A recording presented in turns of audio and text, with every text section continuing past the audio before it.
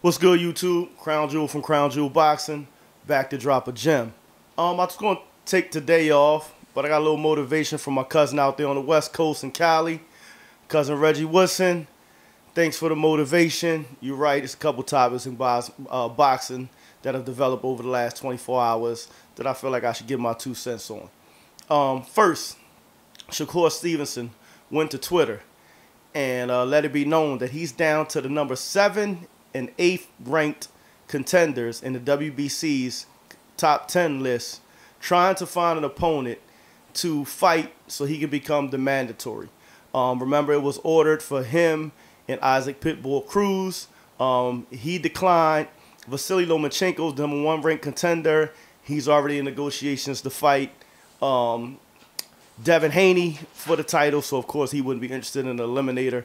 Um, Zepeda said no and also George Kambosos said no. And I mean, I think we all understand George Kambosos saying no, coming off of two losses, his first two losses and two tough fights with Devin Haney. You know, he will probably need a fight or two to get himself ready to get back to that that level. So I understand that. But now he's down to the seventh and eighth ranked contender, trying to find somebody willing to fight him so he can become the number one. I think if these two guys decline, the WBC should automatically name Shakur Stevenson as the mandatory, number one contender, because – you can't continue to penalize a guy and hold him off from getting a title shot because nobody else wants to fight him.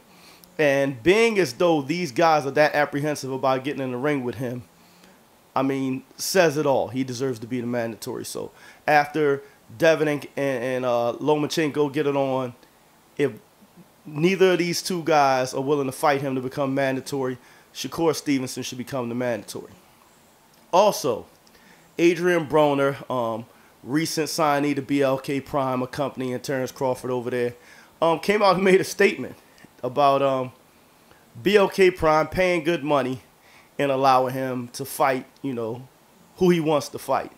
And kind of implying that while he was on PBC, while they did pay him well, but in order to make the money he made, he had to fight against Godzilla.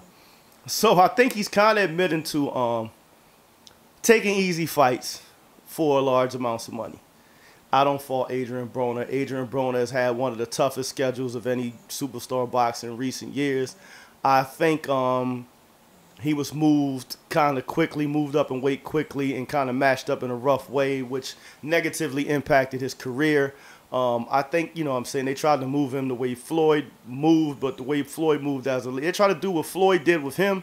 What Floyd did over eight, nine years, they tried to do with him in two or three, and it was just too much, too fast. So if anybody deserves a couple, you know, cherry pick fights to get their feet wet and get back in good standing in the sport of boxing, it's Adrien Broner. And we all know he's entertaining, he sells, and people do like to see him fight. And I, for one, would like to see him get back in top form and, um, you know, get his confidence back and become a competitive fighter in that 140 pound division. So, you know, I'm not mad at you, Adrien Broner. Handle your business, get your money.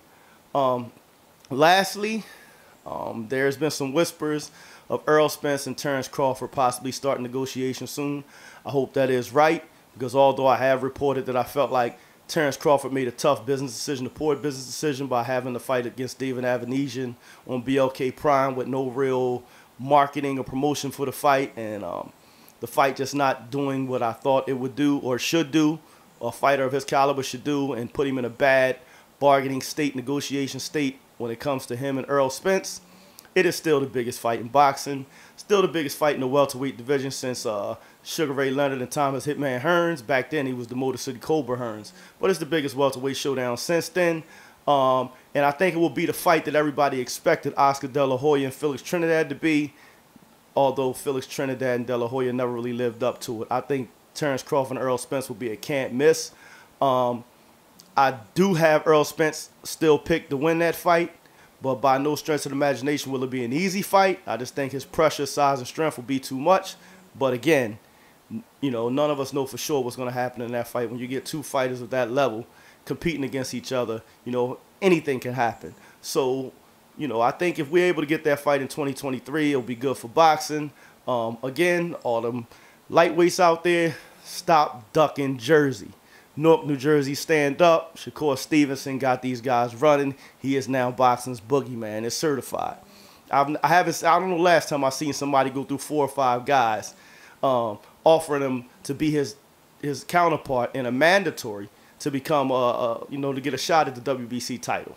These guys uh, uh, just seem to be scared to death of him, and you know, I mean, that speaks volumes for his level of talent, um, and how difficult people think he is to fight, and how um, guys just don't like their chances against a guy like that. And if that's the case, you know, like I said, within another another another guy to decline within another couple weeks, WBC just do the right thing and make um Shakur Stevenson the uh, the mandatory number one contender.